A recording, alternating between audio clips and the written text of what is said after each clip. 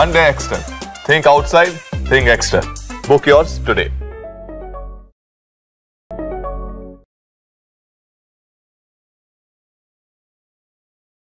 दारूच्या नशेत घर सोडून जाण्याच्या तगादाला वैतागून बापानेच दोन साथीदारांच्या मदतीने मुलाचा काटा काढल्याची घटना गुरुवारी उघडकीस आली राहुल दिलीप कोळी वय तीस असे मृताचे नाव आहे या प्रकरणी शहापूर पोलिसांनी वडील दिलीप तुकाराम कोळी वय पंचावन्न राहणार बिरदेव मंदिर मागे तारदाळ.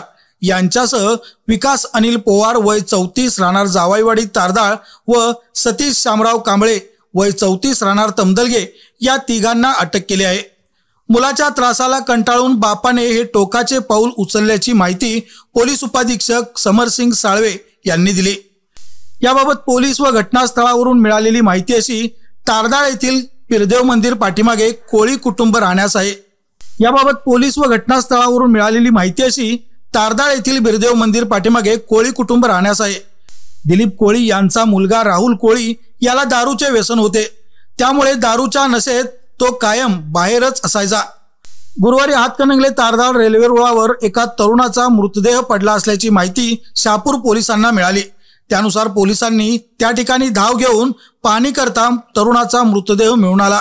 त्याच्या डोक्याच्या पाठीमागील बाजूस गंभीर वार करण्यात आल्याचे तसेच हाताला इजा झाल्याचे तपासात दिसून आले. शिवाय रेल्वे रुळावर वीस फूट अंतरापर्यंत प्रचंड रक्त पडल्याचे आढळून आले. त्यामुळे ही आत्महत्या नसून खूनच असल्याचा संशय व्यक्त करत पोलिसांनी तपासाची चक्रे गतिमान केली. घटनास्थळी पोलीस उपाधीक्षक समरसिंग साळवी शहापूर पोलीस ठाण्याचे सहाय्यक पोलीस निरीक्षक अभिजित पाटील यांनी भेट दिली. प्राप्त माहितीवरून पोलिसांनी राहुल याच्या वडिलाकडे चौकशी करता त्यांनी सुरुवातीला उडवाउडवीची उत्तरे दिली. त्यानंतर अधिक चौकशीत त्यांनी दोघांच्या मदतीने सुपारी देऊन मुलाचा खून केल्याची कबुली दिली. राहुल याला दारूचे व्यसन होते त्यातूनच तो वडील दिलीप कोळी यांना सतत घरातून निघून जाण्यासाठी धमकी देत होता. त्याचबरोबर राहुल याने विविध लोकांकडून पैसे घेऊन कर्ज करून ठेवले होते.